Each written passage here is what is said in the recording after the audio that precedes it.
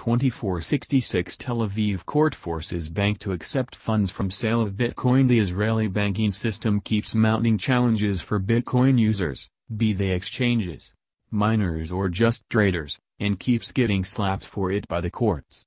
The latest example comes from Tel Aviv where a bank tried to deny incoming transfers from an exchange. Bank uses AML as excuse to block Bitcoin bank Hapoalim, TASE, Poli, Israel's largest bank, has been forced by the Tel Aviv District Court to accept a transfer of funds resulting from the sale of Bitcoin. A client of the bank was denied an incoming transfer of $195,000 from a European Bitcoin trading venue into his joint account.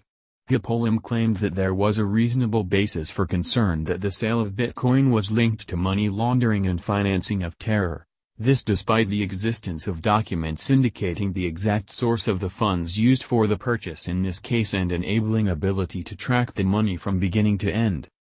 Dot. In addition, the transaction was duly reported by the client to the Israel Tax Authority. None of this was sufficient to convince the bank, which insisted on its refusal, and even informed the client that it intended to return the funds within a week.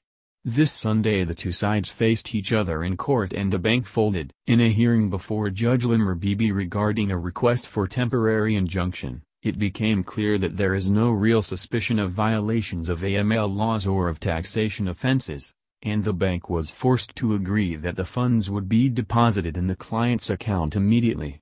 For his part, the trader agreed to sign an IRS W-8 form proclaiming he has no linkage to the U.S. This indicates, that like in previous cases, the Israeli bank's real concern is an eventual crackdown by American regulators.